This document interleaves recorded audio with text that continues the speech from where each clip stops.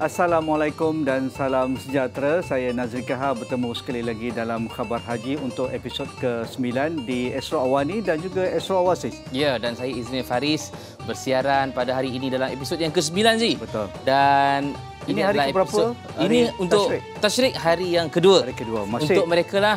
Ya. Ah. Jemaah kita masih melontar. Jemaah ya betul. Jemaah ya, haji sana kalau dikatakan uh, mengikut pada kalender mereka ini ada yang dah uh, nafar awal. Nafar awal. Uh, uh. Jadi mereka dah pulang ke Mekah hotel ke hotel penginapan kerana ada yang akan siap siaga untuk pulang ke tanah air. Uh, jadi itu diberikan kelonggaran untuk melakukan uh, nafar awal. Tapi, Tapi bagi nafar sani ni uh, ada juga orang yang ambil nafar sani ke? Nafar sani mereka masih berada di Mina ah. untuk berulang alik daripada uh, maktab penginapan ataupun kemah penginapan di Mina ke Jamarat ataupun untuk melontar tiga Kalau kebanyakan uh, jemaah Malaysia je dia ambil nafar awal uh, separuh-separuh. Oh ada juga dengan ceritanya. Ah. Uh, separuh nafar awal, separuh nafar sani. Kerana dari sudut uh, kemudahan bas juga ada masalah hmm. untuk menyediakan bas yang begitu banyak dalam satu masa. Jadi hmm. pihak tabung haji menyediakan bagi, bagi mereka yang boleh melakukan nafar uh, awal hmm. bagi mereka yang akan membuat penerbangan pulang awal. Masya-Allah. Jadi mereka pun dah lama dah di tanah betul, suci. Betul. Ya. Jadi kita hari ini kita akan berbicara berkaitan dengan hikmah pengorbanan. Ya. Jadi uh, dalam kita berbicara haji ni Ustaz uh, ya. Izmi, hmm. semalam kita dapat berita ya. hujan berlaku Subhanallah. ya. Rahmat di tanah tu. suci ya. Subhanallah di, dikatakan dalam 15 ke 20 minit. Tapi nampak lebat tu eh. Betul. Ha di petang, Jamrah petang, pun petang. betul. Mm-hmm. Jadi sejuk sikitlah. Jadi sejuk sikitlah dengan situasi panas 45 yeah. hingga 48 darjah Celsius kerana nasihat dari uh, pihak berkuasa Arab Saudi juga Ustaz Izmi eh, uh, dinasihatkan kepada para jemaah yang masih berada di tanah suci supaya uh, kurangkan pergerakan di luar mm. bagi mereka yang masih mengerjakan uh, perkara haji dan sebagainya mengambil langkah-langkah uh, tertentu untuk mengurangkan mereka terdedah kepada stroke haba. Kerana uh, banyakkan kes yang dilaporkan yeah. akibat uh, stroke haba kerana mereka terdedah dengan cuaca panas yang uh, agak ekstrim pada ketika ini. Jadi hujan semalam memberi hmm. sedikit rahmah. Eh. Betul. Uh, menyejukkan sedikit uh, suasana di Tanah Suci. Ada rasa kegembiraan juga Betul. buat mereka. Tapi hari ini dikatakan kembali balik semula panas, panas saja. Ya. Ya, jadi kita mengharapkan jemaah haji Malaysia yang masih berada di Tanah Suci uh, mengambil langkah-langkah berjaga-jagalah. Uh, kalau boleh minum air banyak. Minum air banyak. Banyakkan uh, uh, rehat. Maksudnya betul. jangan terlalu terdedah dengan cahaya matahari. Sebab betul. tadi takut stroke haba tadi tu. Betul. Boleh menjadi punca-punca mm-hmm. kematian. Dan Jadi berkaitan dengan kematian uh, yeah. Ustaz Izmi. Uh, betul. Ini ajal maut di tangan Tuhan. kan Di, uh, di tangan Allah Subhanahu Wa Taala. Jadi uh, tetapi di kalangan jemaah haji Malaysia ada uh, 8, 8 orang jemaah yeah. dikatakan meninggal di tanah yang suci. Yang terbaru kan? Yang terbaru yeah. yang kita dapat berita hari ini ialah berkaitan dengan uh, jemaah haji seorang wanita ya. yang merupakan pengelola jemaah haji PJH meninggal dunia selepas terkena serangan jantung di sebuah pasar raya di Mekah haji. Ya, jadi kan? untuk butiran lanjut kita dengarkan apa yang dikatakan oleh Menteri di Jabatan Perdana ya. Menteri Datuk Dr. Naim Mokhtar berkaitan dengan uh, situasi jemaah haji Malaysia yang meninggal dunia di tanah suci. Uh, laporan berkaitan dengan satu lagi kematian uh, jadi kematian ni adalah kematian yang ke-8 eh. Uh, iaitu almarhumah Sakina binti Jalil umur 66 tahun uh, berasal eh, di Sungai Buloh dan uh, beliau hadir untuk menunaikan haji ini uh, bersama dengan seorang kawan eh. Sebab kematian adalah uh, serangan jantung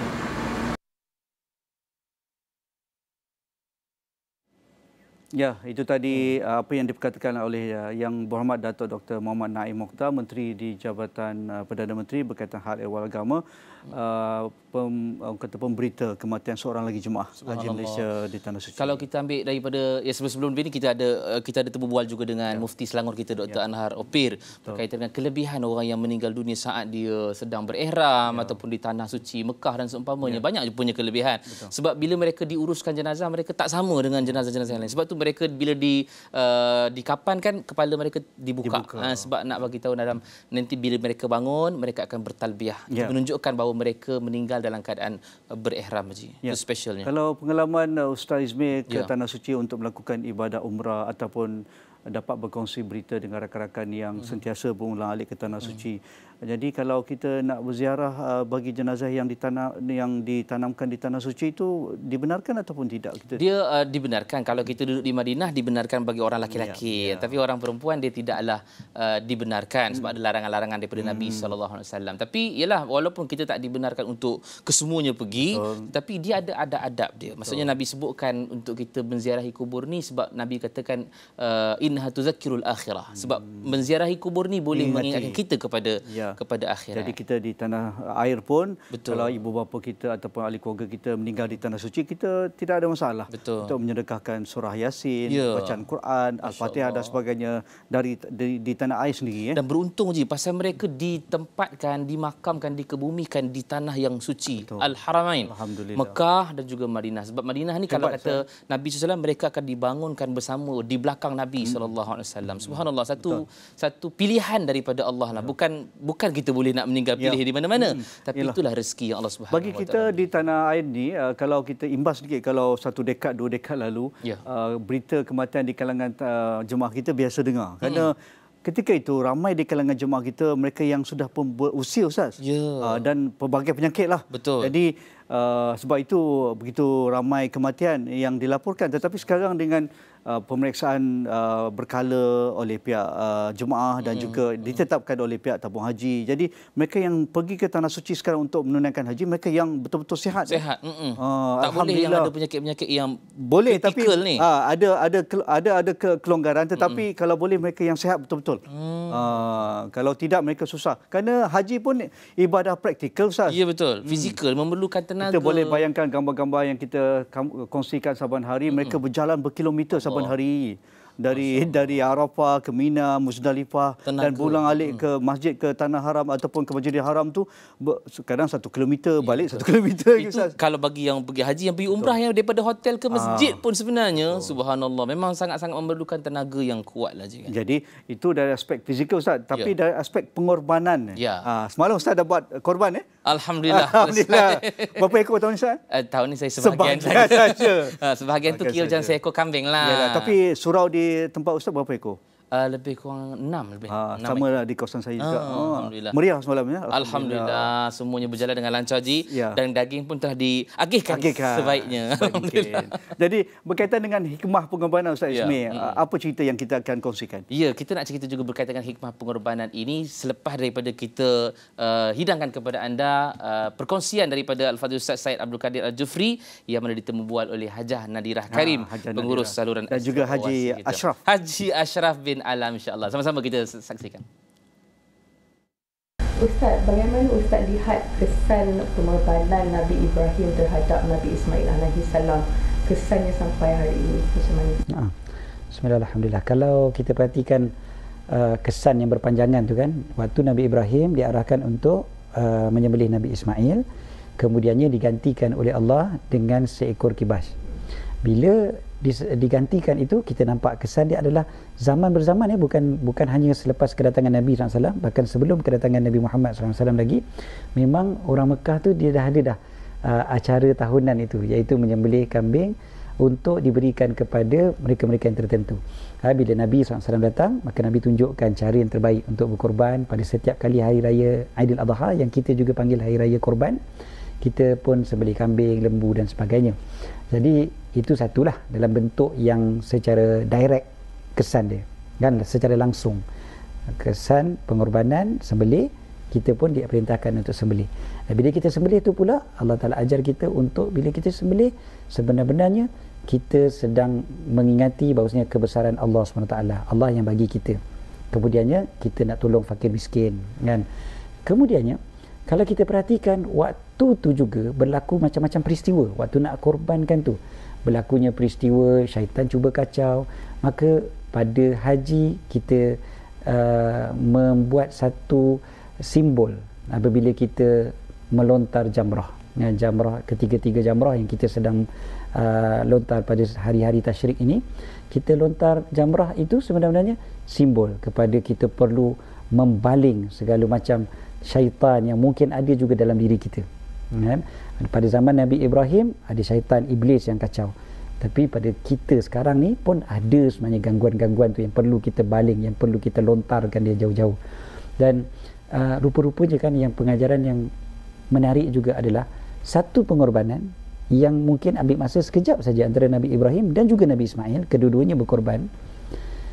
Kesan dia sampai hari ini beribu-ribu tahun. Sebenarnya begitu jugalah pengorbanan contohnya ibu ayah kita dulu. Yang kita ada kat sini sekarang ni ada pengorbanan ibu ayah kita. Dan macam tu juga lah kita berkorban ada kesan dia kepada anak cucu cicit piut kita sampai bila-bila. Kan? Jadi jangan kita rasa kecewa dengan pengorbanan kita yang mungkin tak dihargai.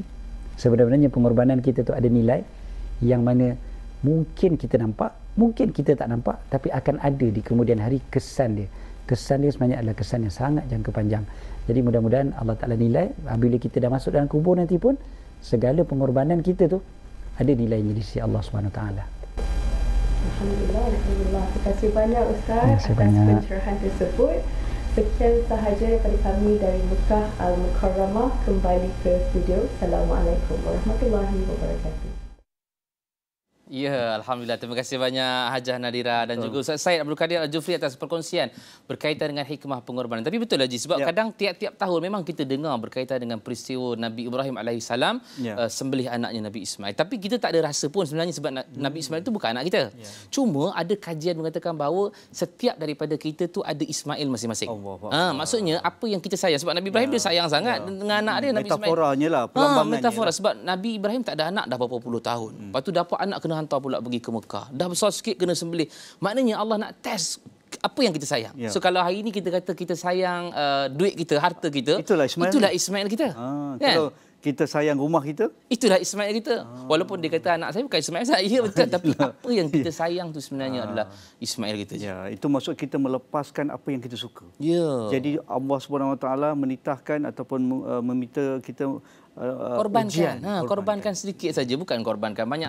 Itulah yang bila kita sebut tentang hikmah pengorbanan tadi, adakah sanggup untuk untuk kita lakukan pengorbanan itu? Kalau kita kata tentang ya. korban daging mm-hmm. nak masuk dalam tahun ni 800 setengah 900. 800 itulah Ismail kita kalau rasa berat tu kan. Ya. Ha, tapi mm. sebab Yalah kita tahu kita bukan semua bukan semua orang yang berkemampuan ya. untuk nak masuk korban dan semua tapi cerita tentang Nabi Ibrahim dan juga Nabi Ismail itu adalah satu bentuk inspirasi ya. inspired buat kita hmm. supaya kita sama-sama boleh ambil dan sebenarnya itu adalah kita punya uh, pengorbanan yang kita keluarkan pada jalan Allah dan pastinya Allah takkan sia-siakan saya apa yang lebih seronok apabila musim korban ketika kita menyambut hari raya Idul Adha ni ya. Ustaz Izmi hmm. di kalangan kita sekarang kita bawa sekali seluruh keluarga Masya Maksudnya dalam tu kita sebut uh, kita letakkan nama anak-anak, hmm. nama isteri ya. ataupun nama ahli keluarga lain dan sebagainya. Hmm. Itu perkongsian. Eh? Betul, betul. Uh, maksudnya kita boleh je kalau yang mampu itu tak ada masalah hmm. 800 setengah sebahagian. Hmm. Tetapi kerana kita nak bersama-sama juga dengan keluarga lain, Allah. eh